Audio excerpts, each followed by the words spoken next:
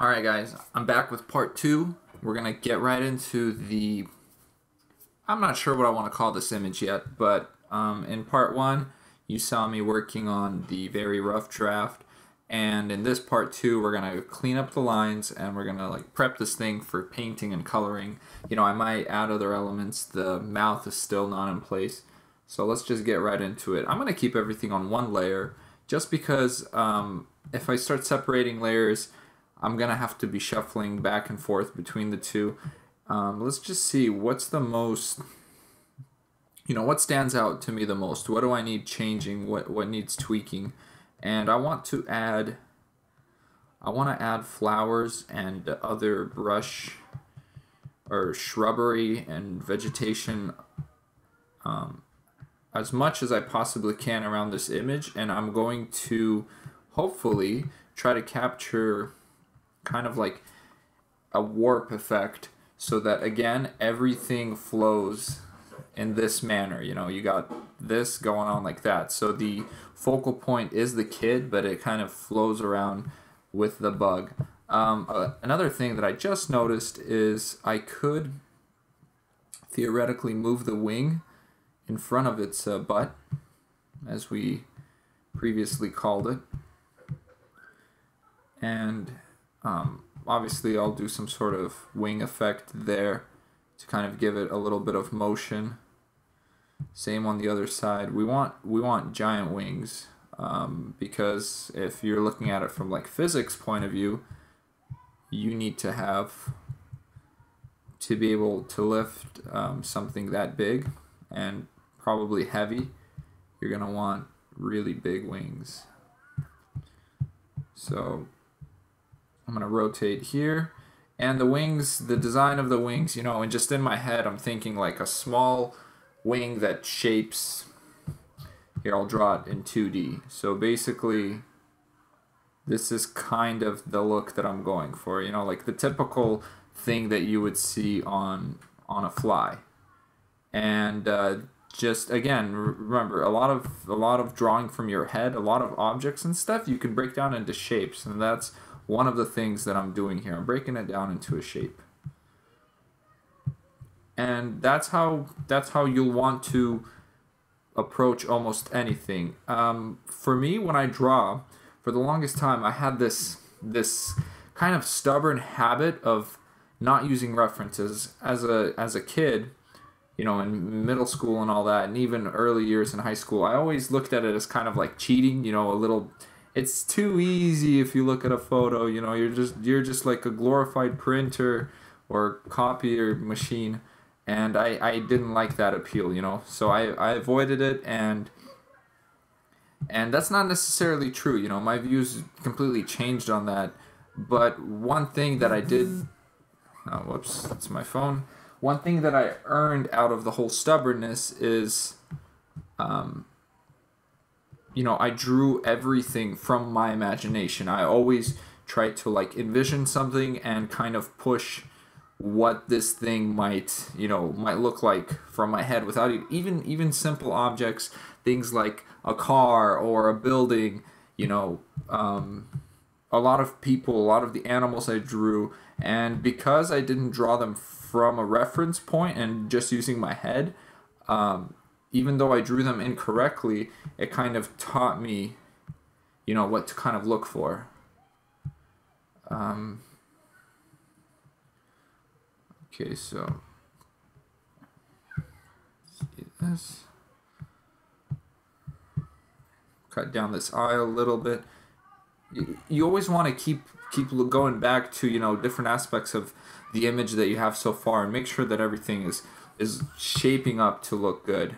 Um, I always encourage, or I would want to encourage you guys to constantly like pull out and look at the whole image um, from you know further away, and uh, you know you might spot mistakes that way. Kind of squint your eyes sometimes to you know check what the balance is looking like and and all that little you know all those little things.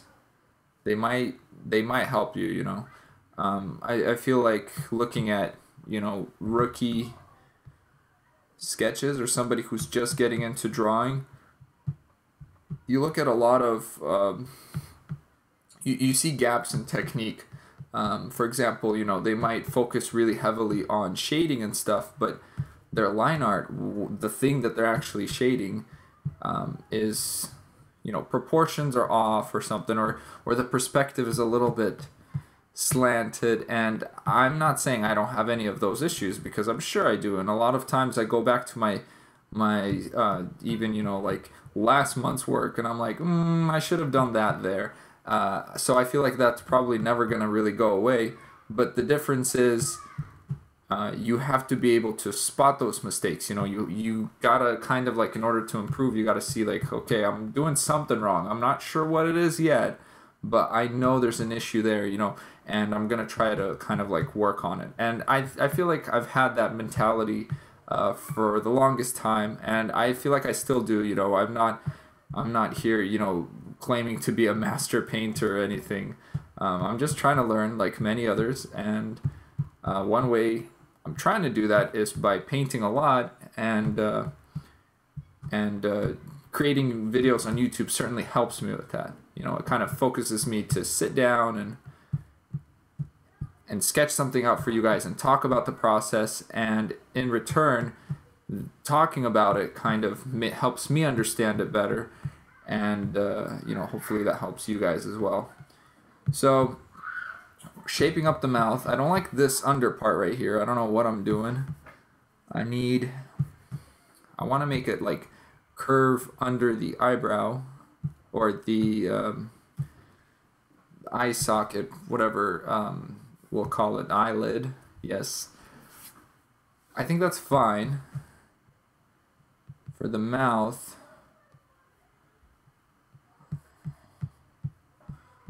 I kind of want a more menacing mouth, so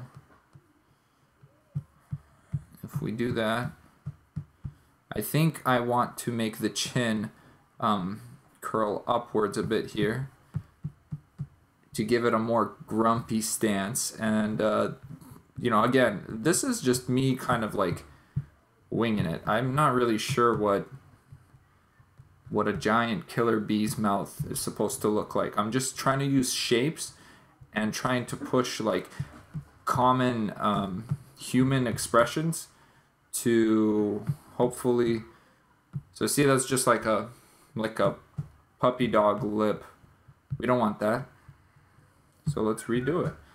And a lot of times I'll spend a good good amount of time kind of like going back and and uh, redoing things and you know fixing them until I feel like they look right. Not everybody has that um, you know, and I'm not again, I'm not saying that I'm the best or I'm really good at it, but I have like an image in my head and I try to I try to push myself to kind of pursue this image until I'm seeing what I was going for or until I'm seeing something better than what I was originally planning on having.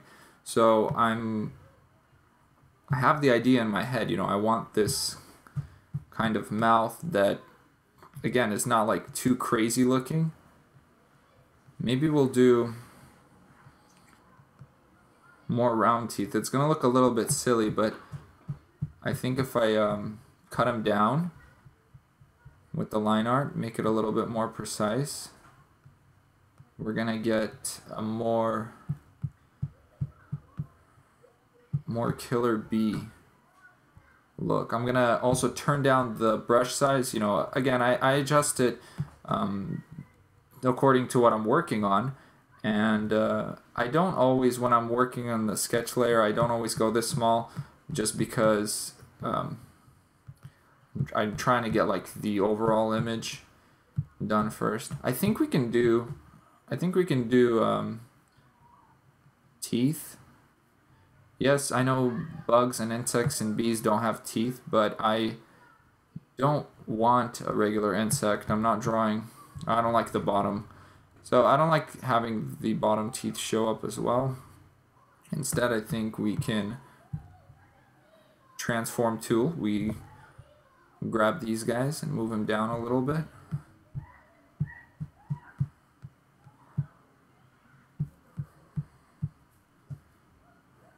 Mm. I don't like the teeth either. I'm sorry, guys.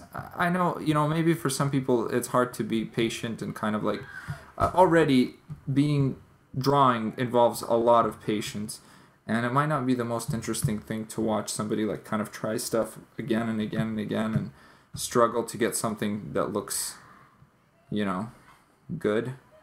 But um, I'm gonna I'm gonna do it until oh I kind of like this.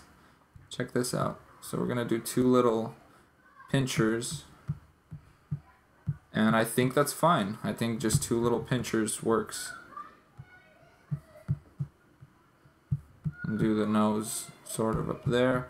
I think this is gonna give him kind of like this exotic bug look.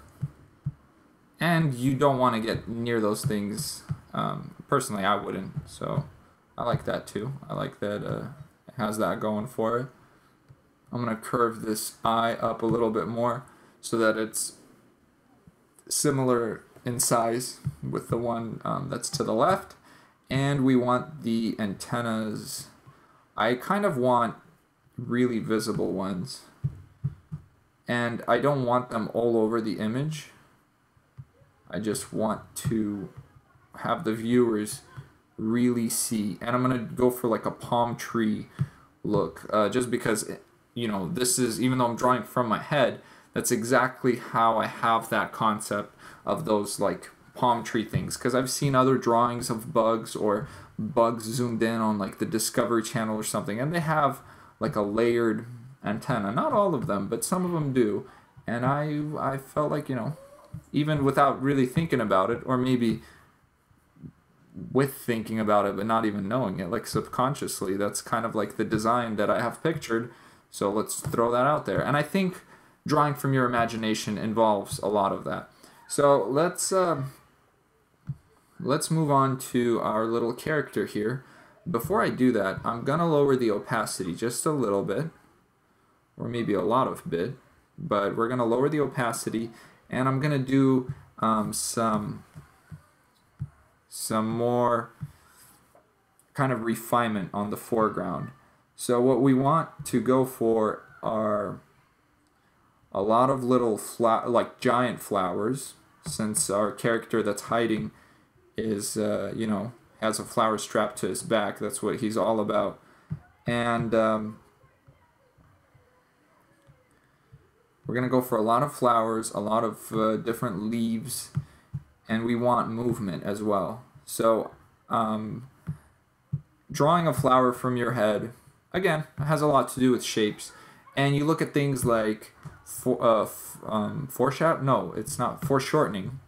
Right, that's the word. Uh, when an object, you know, your hand is flat like this, but when you're drawing a hand tilted towards you, you see that you're not drawing a lot. Like the elbow upwards takes a certain amount of your page up, but when it's like a sword that's uh, facing you, you know, all of a sudden because it's foreshortened, it actually takes up way less space than say this. See, it's almost half of that.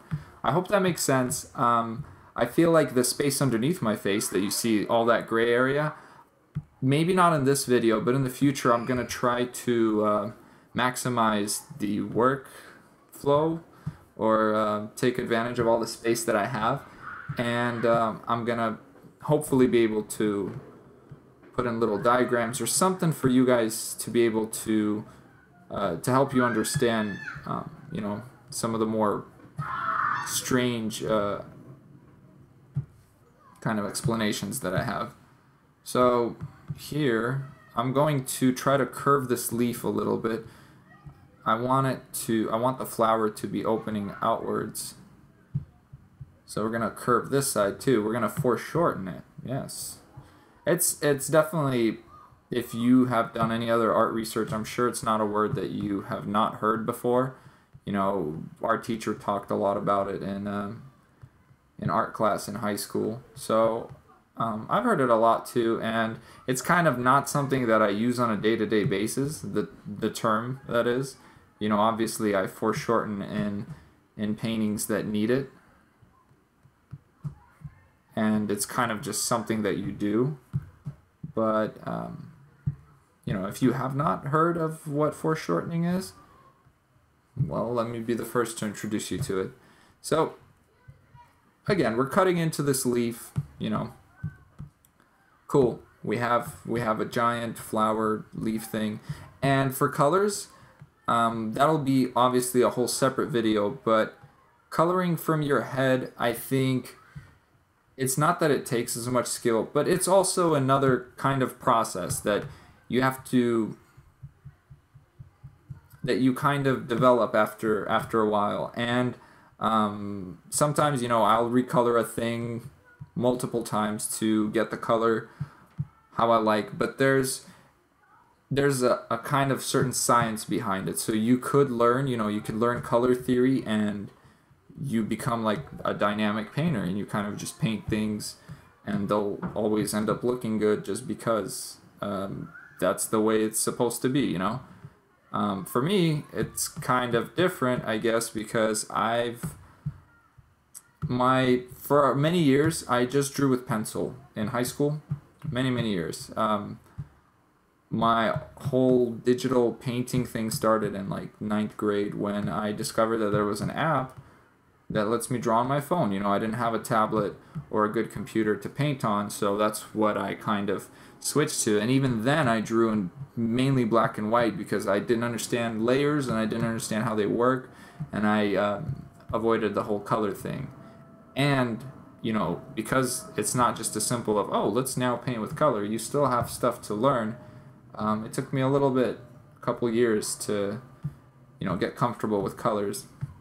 So I'm creating a new layer because we have, as you can see, I'm going to show you guys we have the sketch layer on one, we have more sketch on a separate layer, and that's one of the flowers, and it's the flower in the foreground.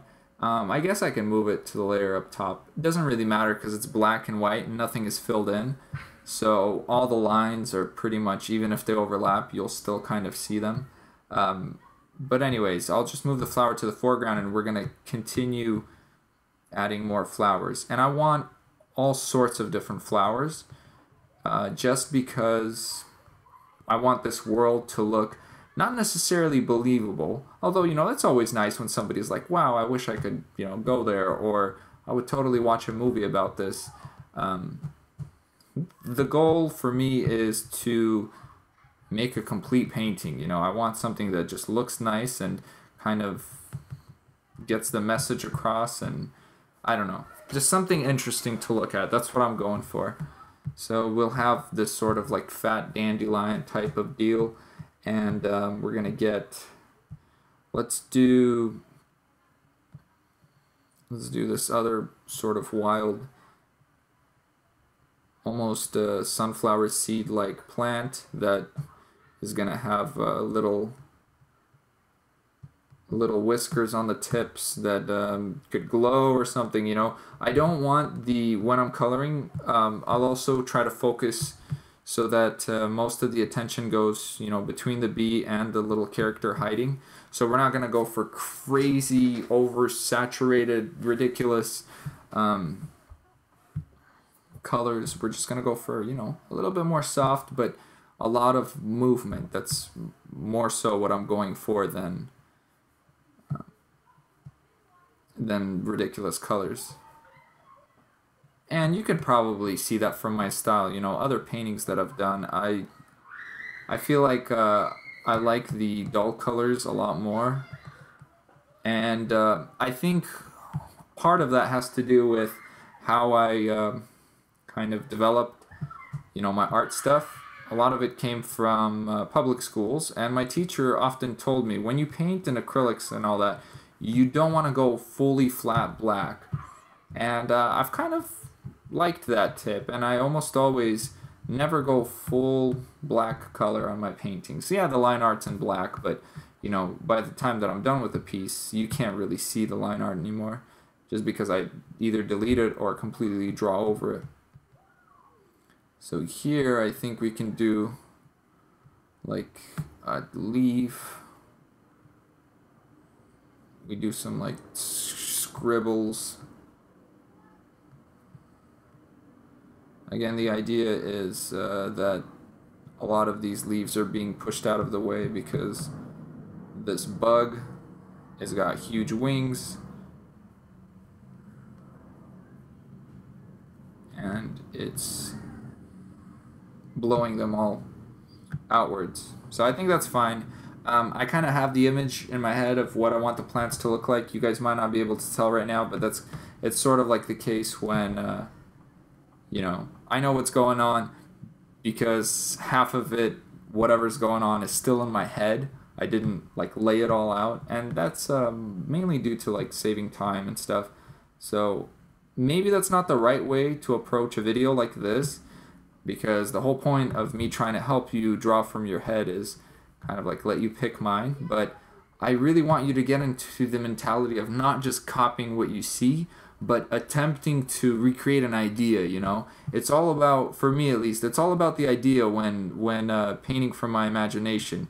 You know i of course you know you'll make mistakes you know this and that might not look right it doesn't look realistic or whatever but if you draw a subject enough, even if it's from your head, you know, over time you'll kind of like develop a style for it and you'll be a little bit more proficient in helping this subject come to life. So, uh, whenever I used to draw a fish, I didn't just look at fish references. I just drew a fish and then I was like, okay, that looks kind of cool. Let's try this type of fish, or let's see what would happen if I um, tried to draw like a giant whale shark thing. You know, whale sharks are a real thing, but you know, more whale than shark or more shark than whale. And and doing challenges like drawing something falling into water or causing a giant splash, you know, things lit on fire. All of that, if you just try to draw it from your head, you'll get really cool results. And I've had a lot of that. I've done a lot of that. And I still do that to this day. You know, I try to try to push myself with the type of settings that I have or the type of subjects that I'm painting. And um, hopefully it shows, you know, hopefully it shows that I'm kind of like progressing and even though, you know, I'm, I'm going out, out of my comfort zone. Although, you know, even though going out of your com- comfort zone is nice, that might not be the work that you're really confident in showing.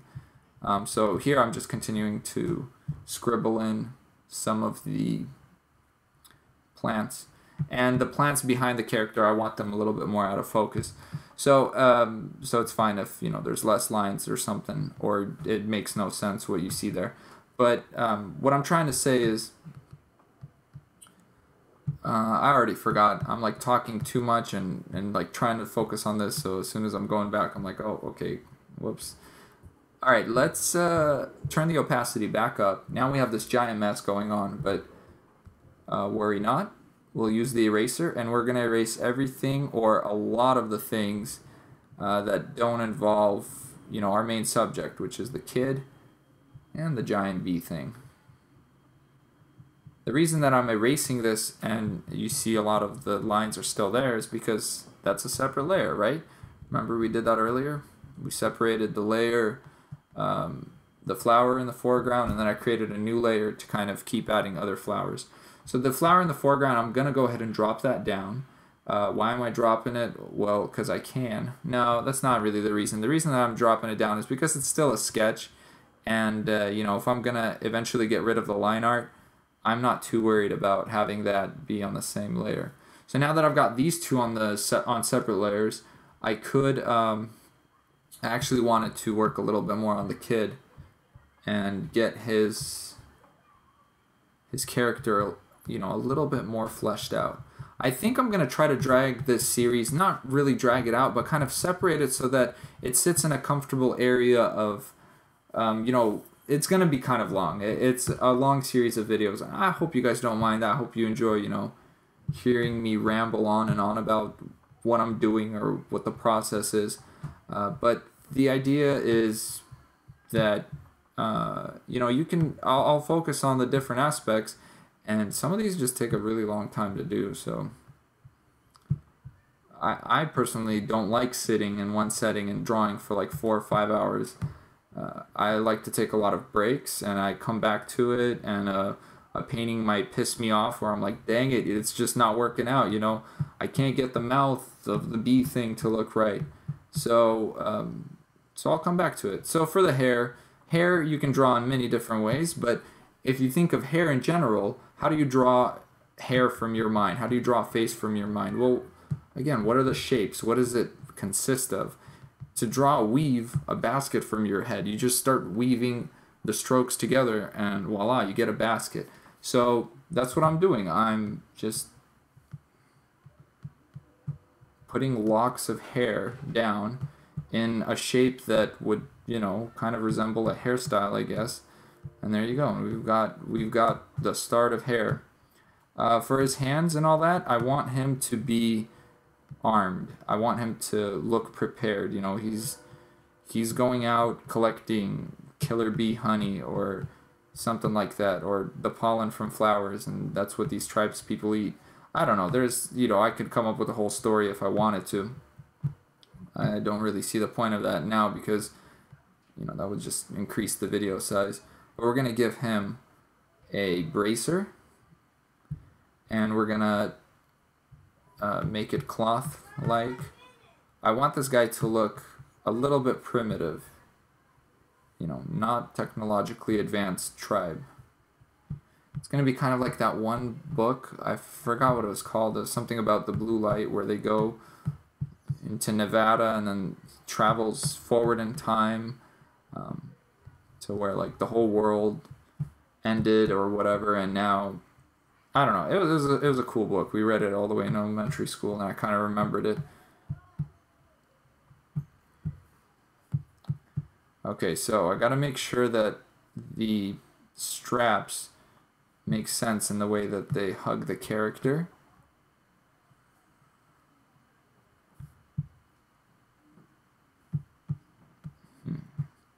All right, his shorts are right here.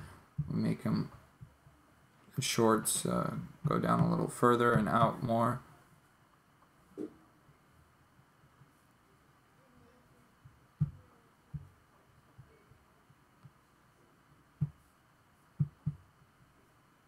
as well as over here.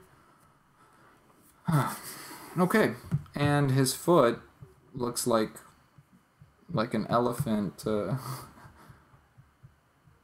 what do they call it? I don't know if there's a specific name for an elephant's foot, but we got to give him a little bit of a heel and reach over and get all his toes in there, and as well as the little this part. Uh, for feet, I have a hard time still to this day painting feet. I think feet are way harder for me than hands. But you can also break it down into shapes where you have like that slanted part, the toes on the bottom, excuse me, and you know, everything else. Uh, I'm to keep this simple. It's more of a cartoony little kid. That doesn't necessarily mean I'm to make him look really cartoony. He's just to have cartoony proportions. I'm gonna try and paint him a little bit more realistically. Um, that because that's just the type of style that I I tend to do for all my paintings. I don't like uh, drawing hyper realism because most of the time that requires you to look at a reference and study it intensely and zoom in like crazy and do all that and that's just not me you know i'm in my comfort zone but I'm not necessarily painting things that are comfortable for me to paint. Obviously, like with uh, most people who are, uh, you know, hobbyists or good at what they do, you know, a certain skill, like a chef, he'll be better at cooking some things than others because he's had more experience cooking those with those things, with those ingredients. You know, a musician might be better at playing one type of music, and same thing with artists. You know, you you paint a lot of people, you will most likely be better at painting a lot like people. If you do characters, you know, or creatures, then there you go. And it's really good to to focus on on a particular type of thing and kind of specialize. You you almost never want to try to be good at everything because then you will not be good at anything. Um, so I guess that uh, you know I'm not good at everything. I, I draw a lot of a lot of creatures, and uh, only recently did I start trying to focus on uh, improving drawing people. Um, okay, this is looking all right. I think I was gonna give him a um, a belt with one of those cloth thingies, but I don't know. That just kind of looks. We're gonna give him shorts. He's gonna be a tribal dude with shorts. I don't know if eh, I guess they kind of did have shorts, and then we'll chop off the. We won't make the bottom part of the shorts, the leg part, or whatever it's called. I don't. I don't want to make it smooth. Make it look a little bit more torn up you know, even add a tear here or there. And that's going to kind of push the whole agenda of, yeah, this guy, he's surviving. He's out in the wilderness. Um, the, the fingers we will clean up. We can probably just do it right now. So drawing knuckles. Uh, with hands, the reason that hands are kind of hard to draw, or pretty ridiculously hard to draw actually, is there are a lot of shapes. It's not just like a simple, you know, let's say seven or even eight sided shape, which is still not that simple. Hands are a lot more shapes than that. You know, you have, it consists of a lot of little squares combined. It's not even squares, it's like cubes. And that just forms like one finger, and then you have the next finger next to it, and then you have the the palm and the wrist so that's why hands are really hard to draw. You could learn them, and I obviously advise you to take the time to, you know, find videos and and all that and resources of uh, anatomy. Uh, I keep saying I'm gonna probably for always keep saying anatomy, um, and just use that word because it's really important. You know, find those types of videos that break down what the human arm consists of, what sort of bones are there, and uh, you can break those down into basic shapes, and you can draw the hand from any angle, holding anything, doing whatever, and you'll be able to do that. And that's sort of what requires ultimately what um, what requires you to be able to to draw anything. You know, is kind of understanding the subject and how to break it down into a basic shape so that you can uh, put that shape in whatever perspective or whatever angle you want, and that'll result in uh, in being able to draw that thing. And I'm not going to be able to show you guys all that in one image, but hopefully this is kind of like pushing you towards the overall idea of how to do it. And I advise that you even try something like this, but just don't copy this painting because it won't help you as much as something like, um, you know, for example, you say, okay, I'm not going to draw a killer bee chasing a little boy. Let's do um, a seagull and it's it's trying to dodge a griffin, you know? So automatically that's going to force you to like think about a lot of things and try to try to draw these things. I don't know. You know what I mean? Hopefully you kind of get the idea.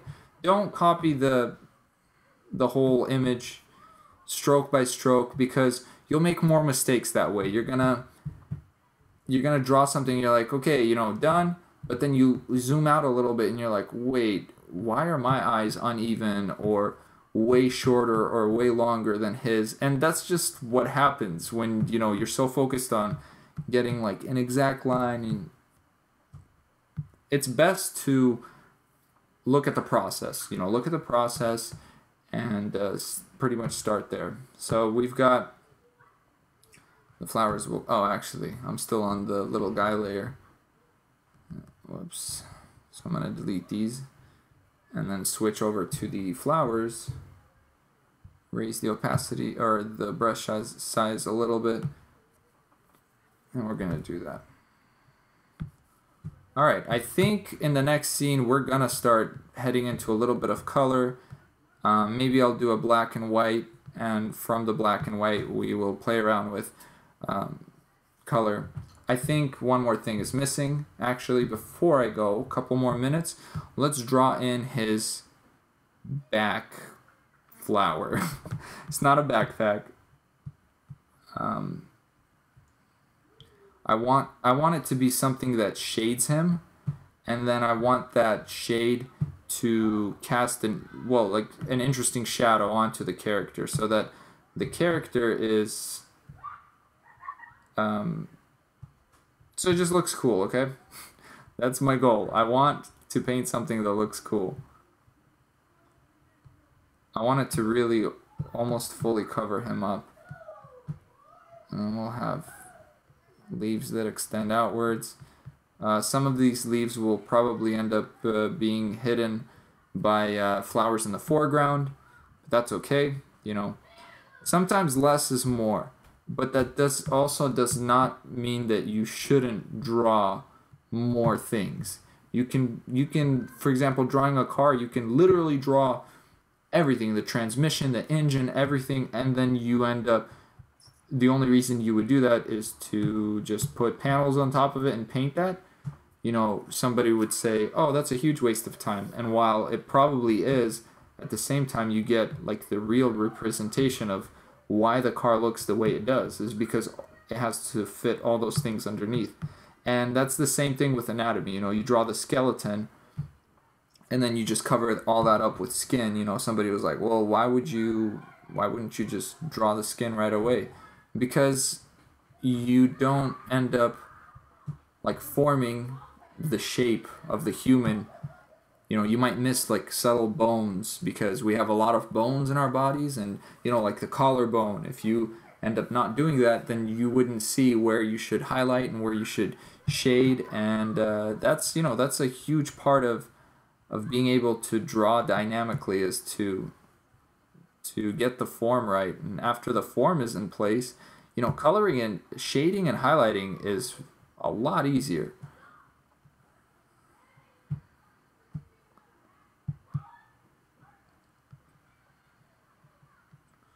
Alright, we've got the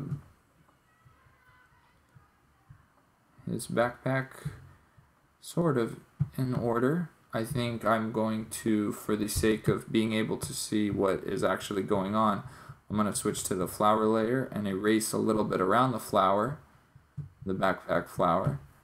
And uh, we're going to, yeah, that's kind of cool, right? Hopefully you guys think so too. You know, hopefully I'm not the only one sitting here like, yeah, I'm so cool. Because that's not what I'm saying. But I, you know, when I'm happy about something that I'm producing, I think it shows in my work. Maybe maybe it, um, you know, it mostly shows in the way I act, but it's a good feeling to be able to kind of have an idea in your head and sketch it out, and it's it takes shape and becomes a real thing that you can kind of look at and be like, "Oh, that's cool." It's even more satisfying when uh, when doing an animation. I haven't done many, but animations re- you you like pretty much bring the thing that uh, you know you spent so long drawing to life. It's uh, kind of an awesome awesome experience. Uh, here I'm gonna reshape the foot a little bit and I want to slant slant the foot downwards more so that it will uh, match the other leg.